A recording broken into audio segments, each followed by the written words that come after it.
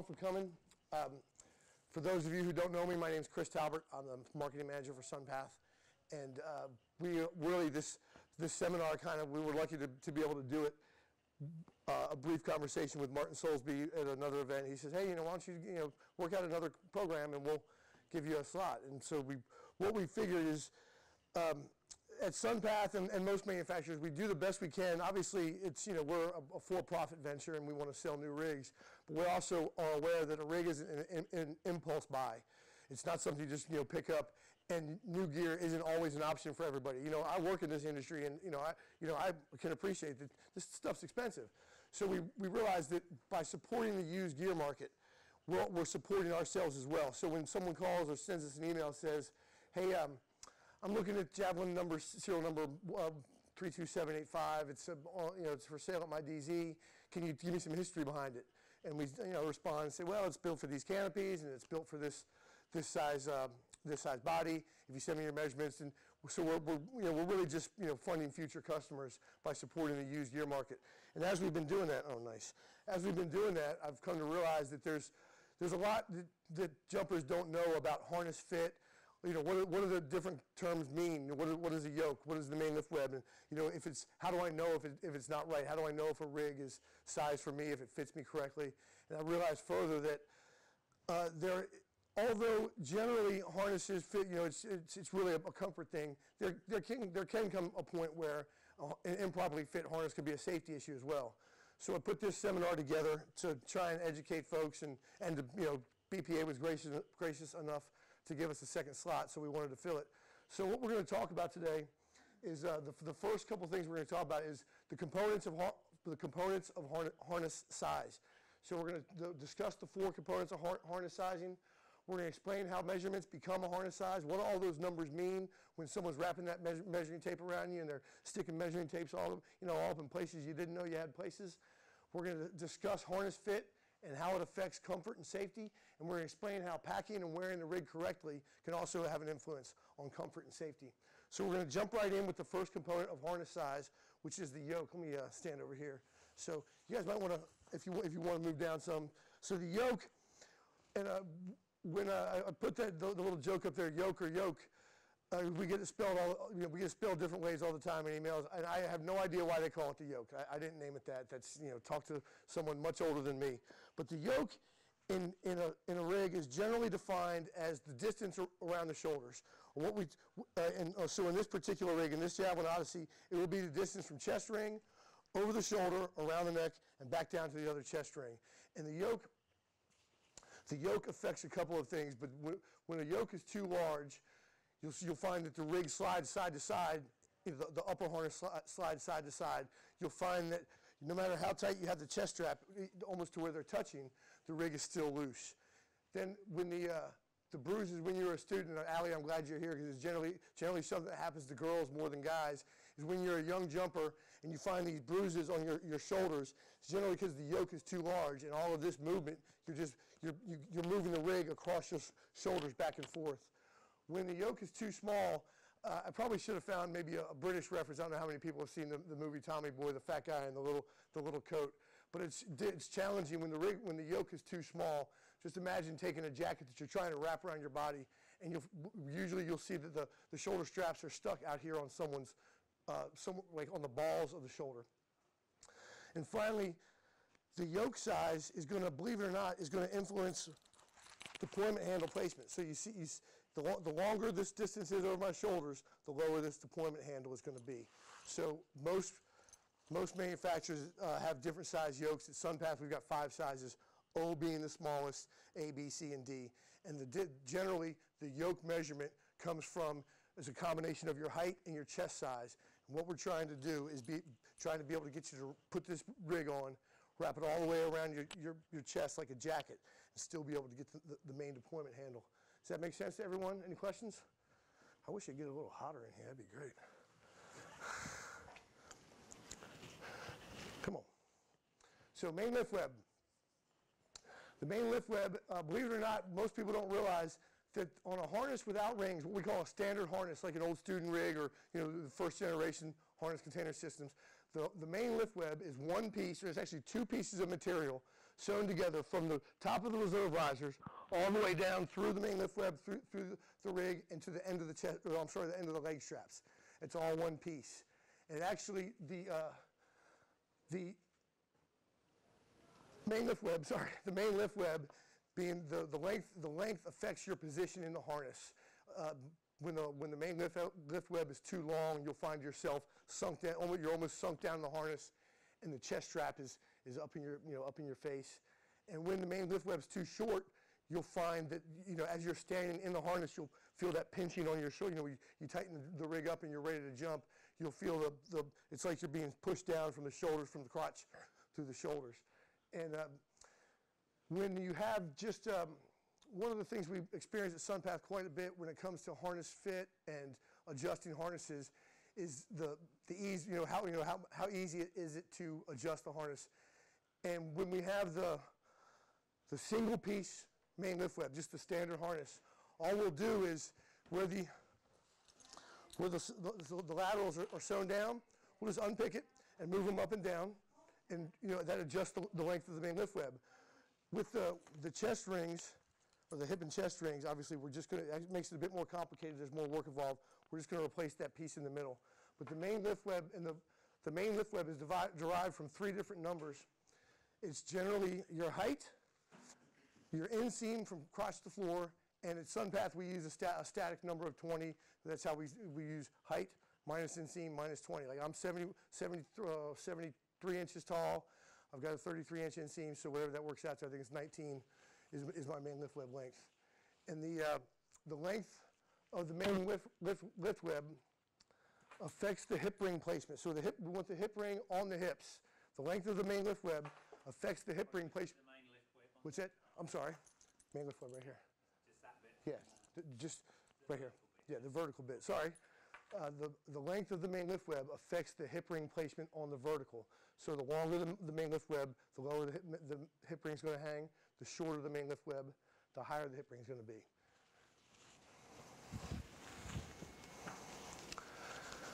So the lateral or the laterals, it says how much do you weigh? So a guy like me, obviously, I'm gonna, you know, I've got a little, little I'm a little more MAN than most, so I'm gonna have a longer lateral than say Thomas, great Thomas here, who's a nice skinny guy.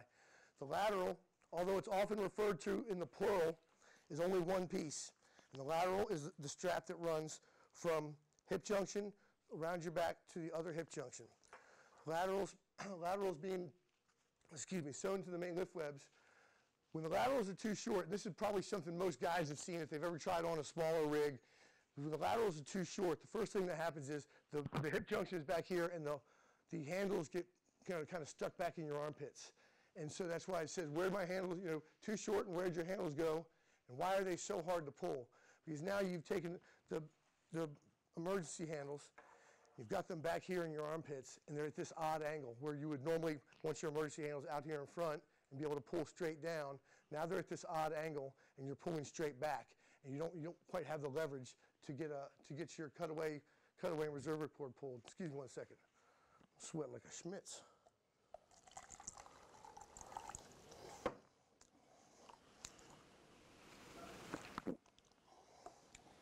I bet that sounded good, huh? So, uh, actually, sorry, we're not quite done with laterals yet. So too, too short, and where did your handles go? Does anybody have any, any experience with that? Does everyone understand what I mean? If you put, you put the rig on, the laterals are so short that now the, the handles are, are back here under your armpits. You can't see them, and you're pulling at an odd angle. It's not, not a very safe situation.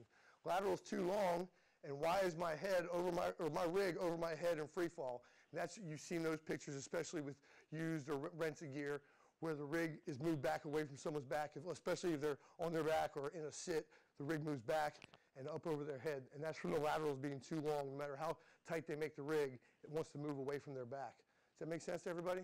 Any questions? No questions? That must be good. Oh, and uh, sorry. And the lateral, lateral length affects the hip, the hip junction or the hip ring placement on the horizontal. So what we're talking about here is the lateral length will affect the hip ring placement horizontally or the, the placement around, around your waist. The, the lateral being too long brings the hip rings around front, lateral being too short puts the hip rings back behind you. Any questions? Nice. Am I the only one that's sweating like this? Yeah, pretty much. I don't do this very often. I'm, I'm, I'm way better at freelancing, but couldn't do that. So leg pads, not leg straps. We hear this, uh, probably one of the first things that we hear when someone, when someone gets a used rig, they say, yeah, it fits great, but the leg straps are too, too, too long or too short. Reality, it's not the leg straps, it's the leg pads. The leg pads, generally on, on most, most manufacturers, you'd be- surprised to find out that the leg straps vary, the length of the actual leg strap only varies slightly from model to model. It's the length of the leg pad. The leg pad, like on a Odyssey, comes from the thigh measurement. And very quickly, you'll see that when the leg pads are too short, they don't meet, and you have the, the leg strap up against your, your, your skin, and the leg pads being too long, you can't get the leg pads, leg straps tight enough, and you find that the, the rig is too loose. Believe um, leg pads should overlap just three to five, three to five centimeters, and a lack of overlap can disguise incorrect hip ring placement. What I mean by that is the leg pads wrap around your, your, your thighs.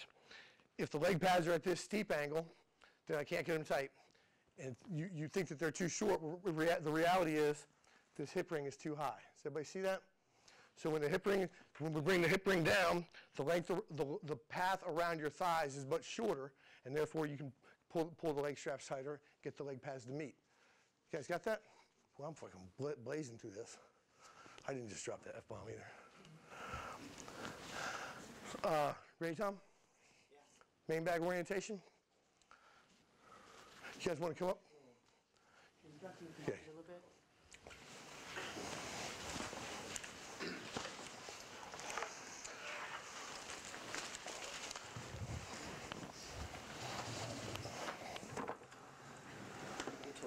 What's that? Yeah, I got it.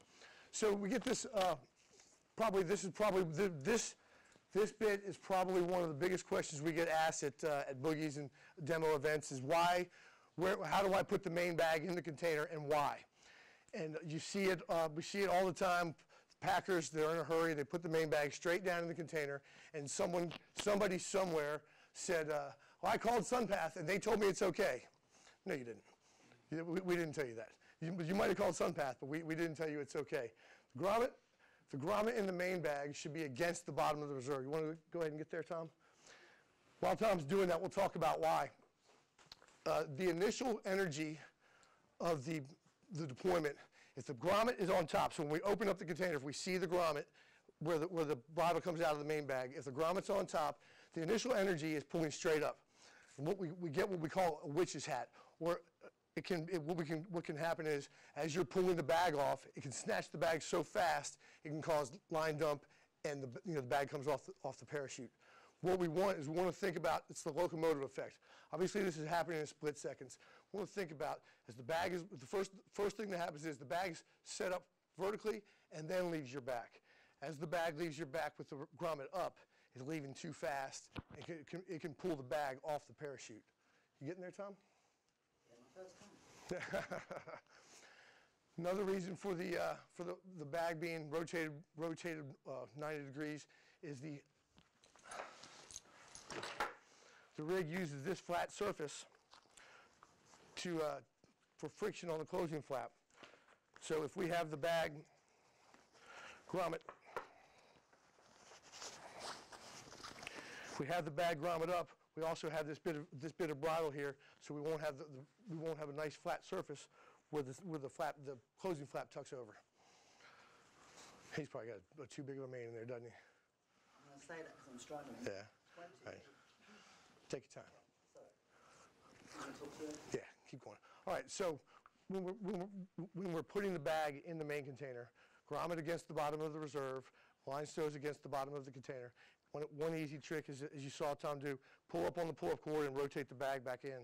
The last bit is the, the main container and the main bag, think of putting the peg in the hole the right way. The main container is a rectangle, as is the main, main deployment bag. So now you're putting the, the peg in the, the hole 90 degrees off, and it's, it's not gonna fit correctly which we're going to, as soon as he gets there, we're going to talk about closing loop length. All right, let's get to closing loop length.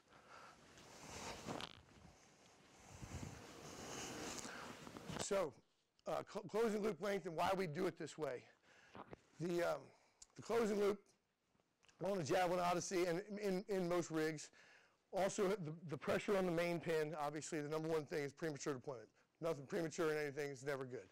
So we're, finally, you guys are killing me. Sweating like I'm jumping rope in the attic. So the, the, the, the length of the closing loop uh, provides, number one thing is pressure on the main pin to, to, to allow to keep the main shut, the main, the main container shut. The C flap relies on friction, so the longer this, the longer this loop- closing loop is, the less friction we're gonna have under this flap. You see, it make sense? So if these, as this opens up, we have less friction to hold, to hold the main container shut. If, um, a lot of folks don't know that, you guys come on up here. The top of the closing loop, there's, a- on the back of this flap, the top of the closing loop should be in the, the stitch for this Velcro. So there's a small box right here. Put the top of the closing loop there, and you're at the right, you're at the correct length. Good, googly moogly. What's that? Is that all javelins? What's that? All javelins, yeah. And all, you'll find, you'll find all this information on our website, sunpath.com. So one of the, one of the big reasons, a lot of folks come to us and they're like, man, I, I've tried and tried and tried, and I can't, I cannot get, using that length of closing loop, I cannot get the bag in, in the container. Generally, what that means is, we haven't filled out the corners of the bag here.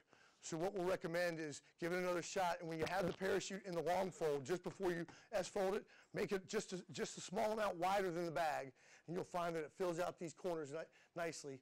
And uh, remember, your packer wouldn't appreciate it if you did that to them. So when you see that your packer is changing the length of your closing loop, tell them, hey man, that's my rig, not yours. Stop doing that. Knock, knock that junk off. And uh, Thomas, you want to be my, uh, you want to be my, my model here, buddy?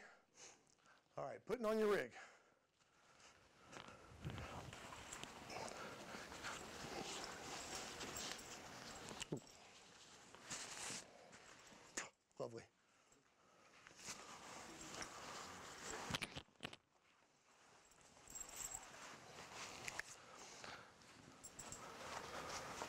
Up the leg straps here, buddy. All right, stop where you are. So we're going to do the chest strap first. Yes, really, we really mean it. The reason we're going to do the you do the chest strap first is think about where the where the weight, the weight of the rig is going to sit. Do we want the weight of the rig sitting on our hips, or do we want it sit up sit up here on these muscles? So when we do the chest strap first, we do a couple things. Go ahead, tighten it up for me, bud.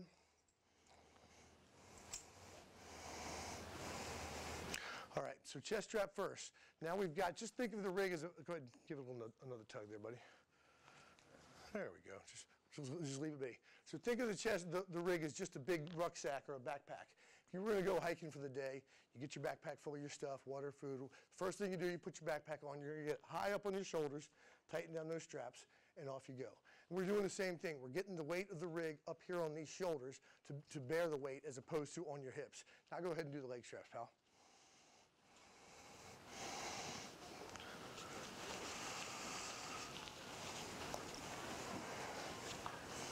All right, that's good. What do you got? Perfect. They don't have to be perfect. All right, so let me get on the side. So we, we've got the shoulder straps parallel. We've got the inboard, the seam of the shoulder straps inboard of your shoulders, which might be counterintuitive, but it's actually going to give you more range of motion. The more you get that jacket wrapped around your, your chest, the more you put those ring covers here on your pec muscles, the more you're going to have range of motion in your shoulders. Turn around, face me. Also, on deployment, now we're being set up by our body, not the shoulders. Just at every jump, you're, you're falling 120 miles an hour, you're, you're horizontal. When, that, when you let go of that pilot chute, you're being raised vertical. Do you want to be raised by your body or do you want to be raised by your joints? Think, think about that laying on, if I were laying on the floor right now, you guys were to pick me up, I'd rather you pick me up by the body than by the, by the joints.